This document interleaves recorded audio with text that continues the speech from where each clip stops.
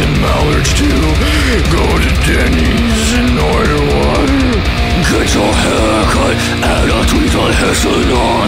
Walk down to Starbucks and get around the hoodie cuffs. Don't go outdoors if you wanna stay safe. Stupid faces are for hooligans. Buy your fucking protector to protect your pins in golf and go.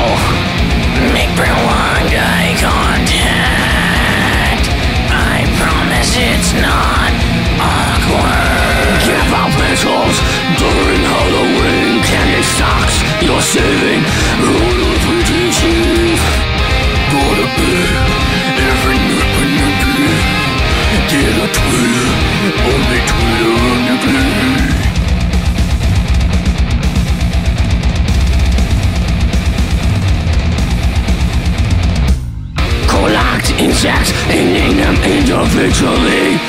Taking our class taught by Bob Ross. Check your credit score more than ever necessary.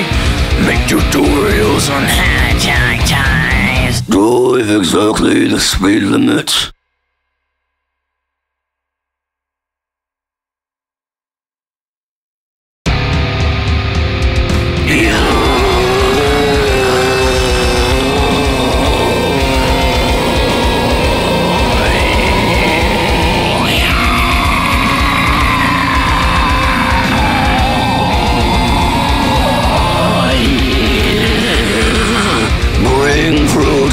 To your family.